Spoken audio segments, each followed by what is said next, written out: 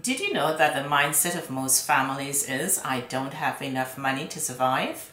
Well, what if I can show you a way where you can provide for your family and still live comfortably? I am Linda Amour Grant of Lyngrant Financial Services Inc. and this is Money Watch